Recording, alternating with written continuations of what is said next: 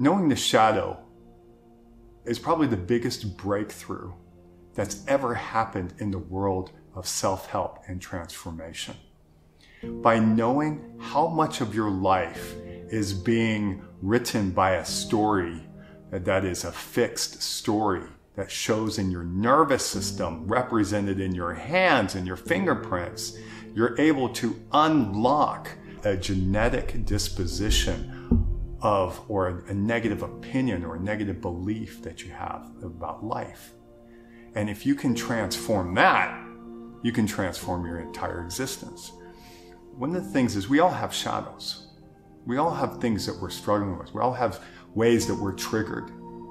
But by opening yourself to all the pieces of the puzzle, not just taking a course, not just having an insight, but I'm talking the entire life pattern and all of the shadow allows you to see, okay, this is my life. And my God, if I continue doing this, it's just going to age me. So the benefit of knowing the shadow is it is it allows you to have not just self-help or positive thinking, but a full grip on your life. All of it. And through that, that allows you to connect compassionately to the things that previously were negative in your life. Previously, that you struggled with anger, that you were depressed about. You connect with compassion.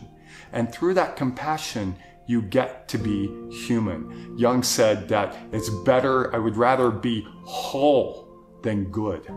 Here, we're looking at the, your right to be a human being on this planet and see all the things that you struggle with and all the things that you resist, and you love it.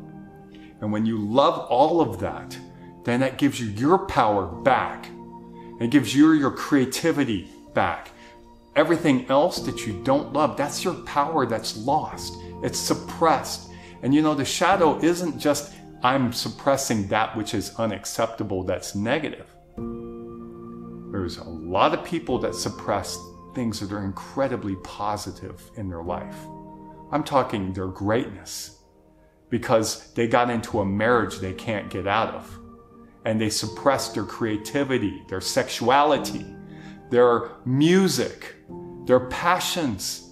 And they gave those dreams up because kids, because of their role of uh, they're working at the bank, all of these things were uh, things that they identified that was almost ready to happen. Because if you look at the hand, you almost see that they're about to be in that trap. They're just a, a trap waiting to happen. They're a money issue waiting to happen. They're a drama of feeling boxed into a relationship where they don't have any emotion anymore. And they're just going on repetitive days. When you can open and acknowledge that, and not have any other agenda, but you see the whole map in the hand, and I can show you it. I can show you all the people that have that same trap in history, the celebrities and remarkable people, and how they broke through that trap. How did Malcolm X come from a place where his had his house was burned down to a, a revolutionary? How did Einstein get ignored, and then how he broke through that to become an inspirational voice? How did uh, John F. Kennedy manage his problems with inspiration and being getting his voice out? You know, everyone has a, a thorough shadow in their life that they must break through. But the amazing part that the Institute of Hand Analysis has discovered is that this shadow and this breakthrough is all in the fingerprints. And by looking at all these famous examples, you can see they had to run right into that shadow and they broke through it. And how they broke through it is fantastic because it allows us to see a passage of how you, how these people developed fulfillment in their life, where their heart was open. And I guarantee you listen to their stories. They were struggling. They were boxed in. Oprah Winfrey was fired from the television station. And now she's a voice of a generation. How did she get from A to B? She had to face her shadow with compassion. So, understanding your shadow is understanding your path through a life. This is your one life. And this is your life that you get to enjoy.